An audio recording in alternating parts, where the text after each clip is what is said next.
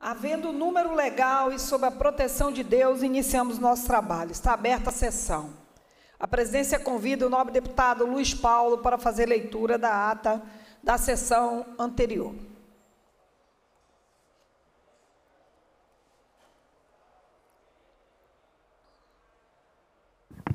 Senhora presidente, deputada Tia Ju, a ata reflete com exatidão o ocorrido na 47ª sessão extraordinária, que iniciada às 16 horas e 9 minutos, encerrou-se às 17 horas e 6 minutos. Lida e aprovada a ata, passa-se ao expediente inicial. Primeiro orador inscrito é o nobre deputado Luiz Paulo. Vossa Excelência dispõe de 10 minutos no tempo regimental.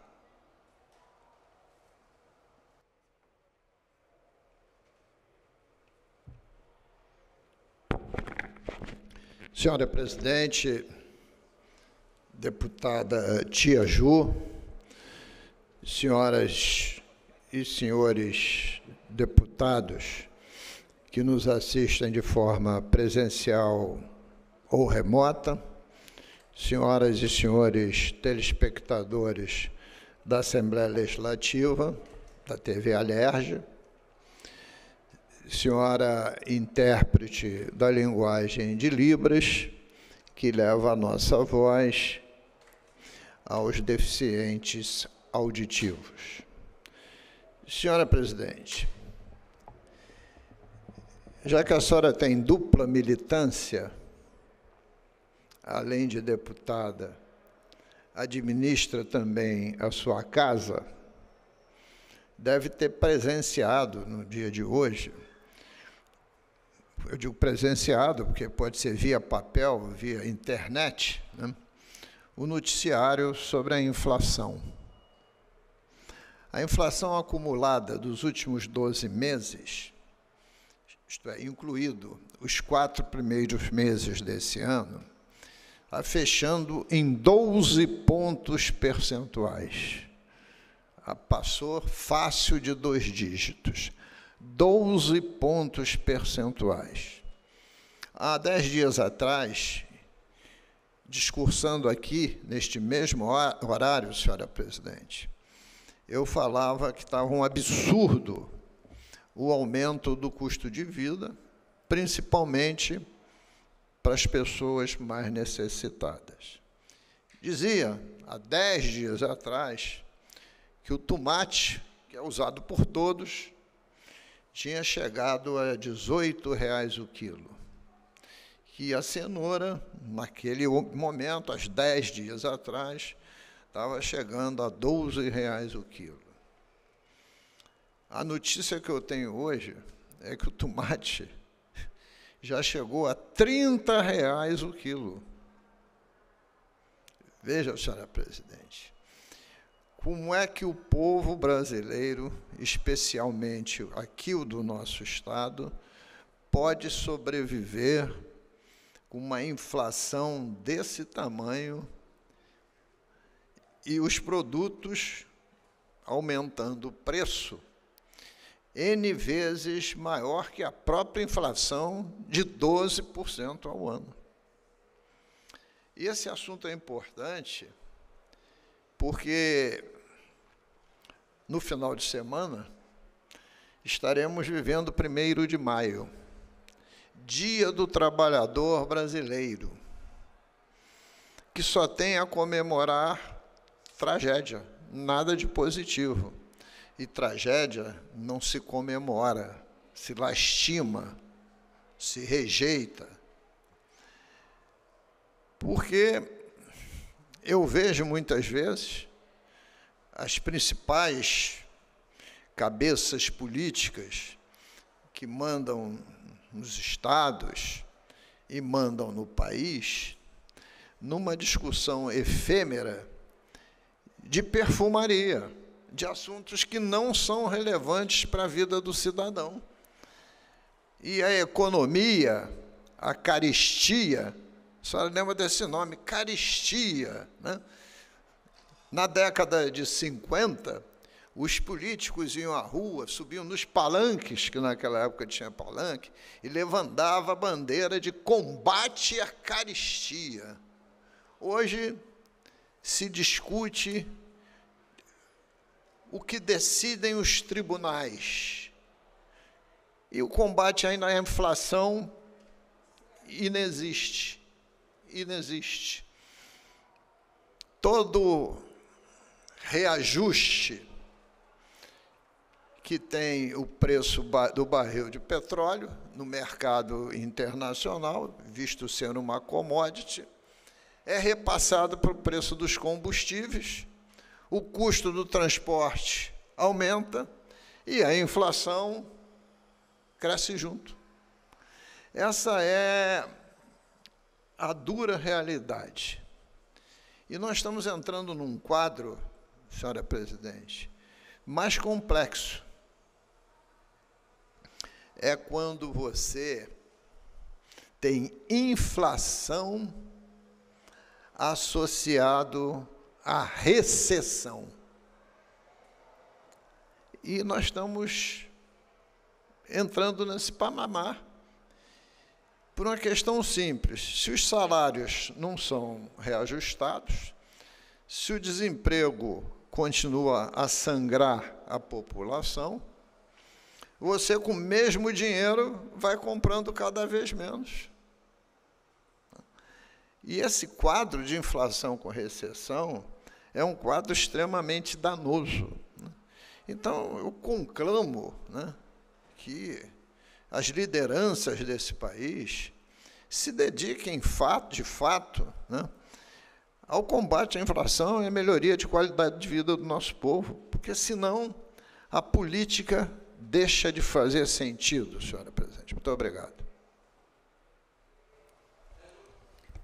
Verdade, nobre deputado Luiz Paulo. As discussões que de fato importam estão ficando renegadas ao esquecimento. Próximo orador escrito é o nobre deputado Valdec Carneiro. Vossa Excelência dispõe de 10 minutos no tempo regimental. Obrigado, deputada Tia Ju, presidente deste expediente inicial. Deputadas e deputados começam a entrar no plenário virtual agora. A partir da semana que vem não teremos mais essa oportunidade, estaremos todos aqui presencialmente no plenário do edifício Lúcio Costa, servidores e servidoras da Assembleia, nossos colegas de trabalho, cidadãos e cidadãs que nos assistem pela TV Alerj, nos seguem pelas redes sociais, imprensa que faz a cobertura das nossas sessões plenárias. Deputada Tiaju, eu me inscrevi neste expediente inicial, na verdade, cheguei na hora de assumir a tribuna na sequência da locução do deputado Luiz Paulo, é, porque queria repercutir uma audiência pública muito importante, realizada hoje pela manhã pela Comissão de Educação, da qual sou membro, presidida, presidida pelo deputado Flávio Serafini, é, que tratou de um tema que nós conhecemos muito bem, Tia Ju, que é o tema da convocação de aprovados em concursos públicos, no caso da educação da SEDUC, de 2013 e de 2014, e também é, da rede FAETEC. Rede FAETEC é, com concurso realizado no ano de 2019. Ora, é, deputada Tia Ju, primeira coisa que chama a atenção, é, antes de entrar nos números que me deixaram muito impressionados e tristes e preocupados, é o seguinte: nos anos 90, aproximadamente nos anos 90, é, se consolidou é, no Brasil e em outros países uma concepção, uma visão de mundo é, classificada como neoliberal, segundo a qual o Estado ocupava o, Estado, quer dizer, o poder público, né, ocupava espaço demais na sociedade. Era preciso reduzir o tamanho do Estado, emagrecer, enfim, enxugar o Estado, segundo essa lógica, para que o Estado pudesse aí sim se concentrar nas chamadas atividades essenciais. E sempre que as atividades essenciais eram discriminadas, aparecia logo no primeiro plano qual? A educação. Então, o Estado tem que sair de áreas onde ele está incomodando, onde a participação dele não é desejável, deixa que o mercado regula muita coisa, as relações sociais, as relações econômicas, e o Estado tem que ficar preservado, preservar seus órgãos, seus servidores, suas políticas, seus serviços, para atuar nas áreas estratégicas. Pois bem, nem esse discurso, do qual eu discordo, se sustenta mais, porque agora nós não vemos nem uma, mais uma preocupação tão acentuada com o Estado, é, é, com o papel do Estado na garantia dessas funções essenciais. Isso se revelou hoje, na audiência que fizemos é, na Comissão de Educação. E por quê? Segundo dados da SEDUC, da SEDUC, veja, Tia Ju, são 7.806 vagas reais que representam a carência de professores na rede estadual de educação do Rio de Janeiro. Dados da SEDUC, nós estamos falando de quase mil, oito mil professores, de quase 8 mil professores faltantes. Segundo a própria SEDUC, segundo a própria SEDUC, são das 53 mil turmas, esse é outro dado impressionante, das 53 mil turmas existentes na rede estadual de educação, pelo menos 16 mil, segundo a SEDUC, tem alguma carência de professor. Falta um professor de uma disciplina, faltam dois professores de duas disciplinas diferentes. Então, isso significa quase um terço das turmas na rede estadual de educação tem carência de algum professor de alguma disciplina em algum momento. Ora, onde está aquele, aquele discurso que o Estado tinha que se ocupar das funções estratégicas? Onde ele está? Estou lembrando aqui o deputado Paulo Ramos esbravejando, dizendo: é Estado nenhum, não é mais Estado mínimo, não.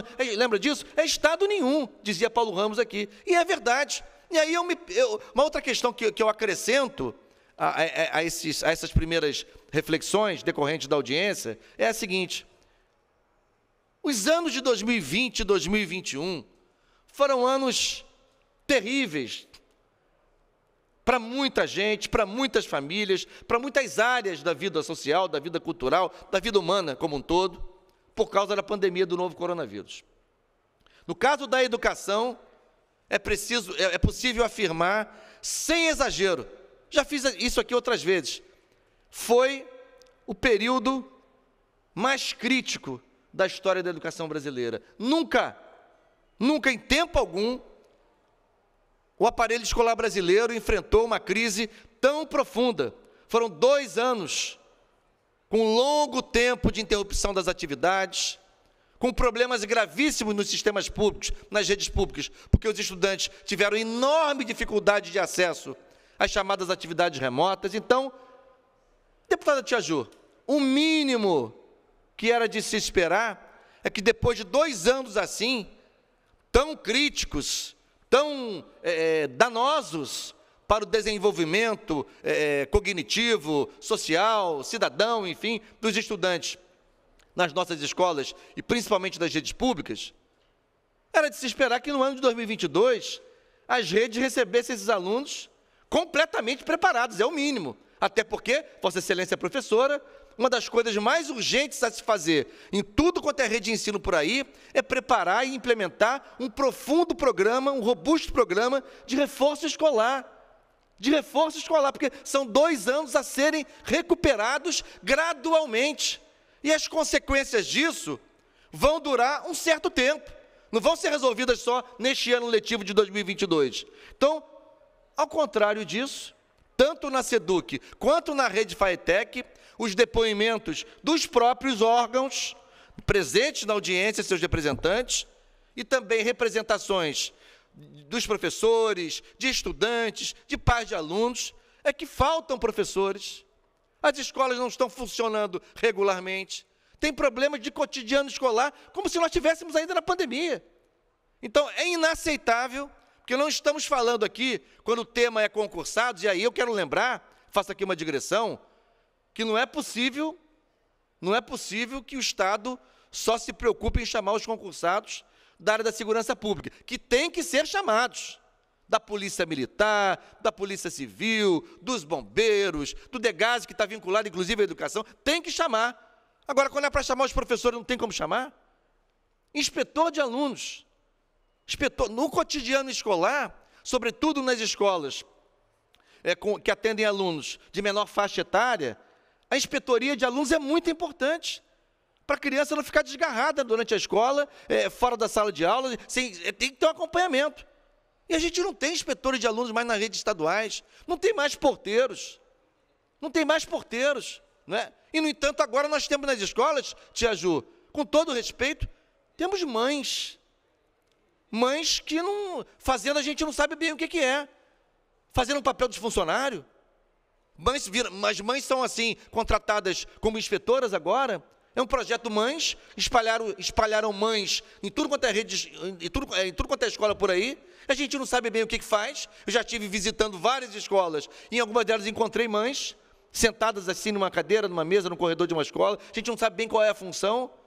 E por mais interessadas, por mais zelosas, por mais, enfim, cuidadosas que sejam, elas não podem substituir o serviço público, não podem substituir o servidor público. Isso está errado. Mais ainda quando, quando se pensa que esse Estado, este Estado, o Estado do Rio de Janeiro, nos últimos anos, desde Cabral, sobretudo, não começou com Cabral, que Moreira Franco já tinha feito isso, mas Cabral intensificou. Não sei se Vossa Excelência se lembra, nós não éramos deputados ainda, mas o governo estadual, sobretudo a partir do Sérgio Cabral, desencadeou uma verdadeira operação para que o Estado, é, entre aspas, usa a expressão entre aspas, se livrasse de muitas escolas estaduais que atendiam o ensino fundamental, empurrando goela abaixo de municípios, municípios que podiam receber, que tinham se planejado para municipalizar essas escolas, e outros que não têm onde cair mortos, e mesmo assim, pela força política do governador, tiveram que entubar essas escolas municipalizadas nas suas redes. Com o argumento, deputado Valdo Ceasa, com o argumento de que o Estado não era responsável, olha aí, pelo ensino fundamental, era só pelo ensino médio. Primeiro, que na legislatura passada eu passei três anos debatendo na Comissão de Educação, criticando essa interpretação que era reinante aqui na Assembleia, de que o Estado só tinha responsabilidade com o ensino médio. Mentira! Tanto é assim que em 2017 para 2018, o Tribunal de Contas do Estado emitiu uma nota técnica, um parecer, né, depois o Conselho Estadual de Educação, endossando o óbvio que está na legislação. A educação infantil é responsabilidade dos municípios, o ensino médio é responsabilidade dos estados, e o ensino fundamental é de responsabilidade compartilhada entre estados, municípios e também, no caso de Brasília, o Distrito Federal. Ora, então veja só, o Estado se livrou de muitas escolas de ensino fundamental para cuidar apenas do ensino médio e não cuida do ensino médio. E não garante professores nas turmas de ensino médio. Isso é, isso é o mínimo. Nós não estamos pedindo, nem entrando no ponto ainda da modernização tecnológica das salas, da climatização das salas, de salas que não têm nem ventilação direito. Nós estamos falando de professores. E quando o debate é chamado de concursados, não se trata pura e simplesmente de defender o direito de quem fez concurso, foi aprovado e quer ser chamado. Se fosse só isso, se fosse só esse aspecto, já seria muito importante. Mas é mais do que isso chamar esses concursados e preencher essa carência de quase 8 mil professores, quase 9 mil professores, repito aqui o número, não sei se, se erro no número agora, não, quase 8 mil, 7.806, isso significa garantia do direito à educação, que 7.806 professores faltantes, eu fico me perguntando, quantos alunos a mais a gente poderia ter? Quantos alunos ficam de fora? Quantos sobram? Quantos não conseguem ingressar? Quantos ficam sem estudar? E se esses professores estivessem todos dando aula? Essas 16 turmas, onde tem carência de professor, 16 mil, 16 mil turmas, fica imaginando assim, por alto, 16 mil turmas, onde tem alguma carência de professor. Digamos que em cada uma delas, falte apenas um professor. Ou seja, são 16 mil professores faltantes. Né? Se você multiplica isso por 30 alunos, você tem uma quantidade absurda é, 210 mil alunos sem professor em alguma disciplina. Ou seja, nós estamos vivendo uma situação em que vai ser necessário, eu acho, Ministério Público e o Tribunal de Contas do Estado, perdão, a Defensoria Pública do Estado presente, talvez o instrumento seja uma ação civil pública. E quando a gente fala de uma ação civil pública, não é para fustigar os órgãos, não. Os órgãos não. Talvez Os órgãos até precisem de um empurrão, de uma decisão judicial, para tomar as providências que precisam ser tomadas. A gente não consegue entender, não consegue entender como que é possível, como que é possível um estado como o Rio de Janeiro, nós estamos no ano de 2022, depois de dois anos de pandemia afetando e paralisando as escolas estaduais, não consegue ter professores nas turmas das suas escolas, em grande quantidade, em larga escala. Entre 2011 e 2021, nesse intervalo de 10 anos, a rede perdeu, a rede estadual de educação perdeu 30 mil professores. Entre 2011 e 2021, eram 87 mil professores e hoje são 57 mil. Ora, é preciso fazer uma reflexão, é preciso tomar providências, é preciso virar esse jogo. Por isso, considero que a audiência de hoje foi muito importante, pelos números que foram, que foram é, publicizados, e não são números é, é, trazidos aleatoriamente por, é, por quem quer que seja, números trazidos pelas próprias, pelos próprios órgãos estaduais presentes, SEDUC e FAETEC, é muito grave o que está acontecendo né, nessas escolas, nessas redes, e a gente espera é, que haja providências, a gente espera, segundo a SEDUC, estão sendo encaminhados, é, é, hum, acho que nos próximos dias, o pedido para a contratação de 910 inspetores, o pedido para, para que seja, seja suprida essa carência real de 7.806 professores, nem me iludo achando que serão, serão convocados assim 7.806 professores de uma vez, mas eu quero lembrar que são, ao todo, deputada Tia Ju, 12 mil, 12.076 professores aprovados em concurso, esperando nomeação na SEDUC. 12.076. Ora, se são 7.806 vagas de carência, a matemática facilita. É preciso ter vontade política, é preciso ter responsabilidade, vergonha na cara, compromisso com a garantia do direito à educação, porque senão vem para a televisão, vem para o programa eleitoral, fazendo propaganda aí superficial, falando do Estado, o Estado está mudando, está crescendo. Como é que vai mudar e vai crescer sem investir na educação, nas nossas crianças, nos nossos adolescentes, nos nossos jovens, sem garantir o mínimo? Sem garantir o mínimo, que é o direito à educação, que completem pelo menos a educação básica. Não estamos nem falando do ensino superior ainda não. Garantir que complete a educação básica. Então, o Rio de Janeiro, Rio de Janeiro vive uma situação vexatória em matéria de garantia do direito à educação, e a audiência pública de hoje foi muito, muito é evidente, né? foi muito contundente na evidenciação é, desses problemas, desse fenômeno que se arrasta no Rio de Janeiro, mas que atingiram no governo Cláudio Castro uma dimensão é, é, de, de, grandíssimas é, proporções. Portanto, fiz questão de me inscrever hoje aqui porque fiquei indignado, preocupado, muito triste. Um mínimo, repito aqui a frase para concluir, depois de dois anos trágicos para a educação brasileira, para os sistemas públicos, era de se esperar que as redes começassem tinindo com, com escolas, salas de aula, professores, profissionais de apoio, mas não, falta quase tudo. Portanto, faço aqui esse registro indignado. A educação é, é, a pauta da minha vida e eu não posso silenciar diante de números tão aberrantes, tão críticos, que afetam gravemente o presente e o futuro de gerações de estudantes, de jovens, de crianças, adolescentes no, no estado do Rio de Janeiro. Muito obrigado. Não havendo mais oradores inscritos, a presidência suspende a sessão até às 15 horas, quando retornaremos com a ordem do dia. Está suspensa a sessão.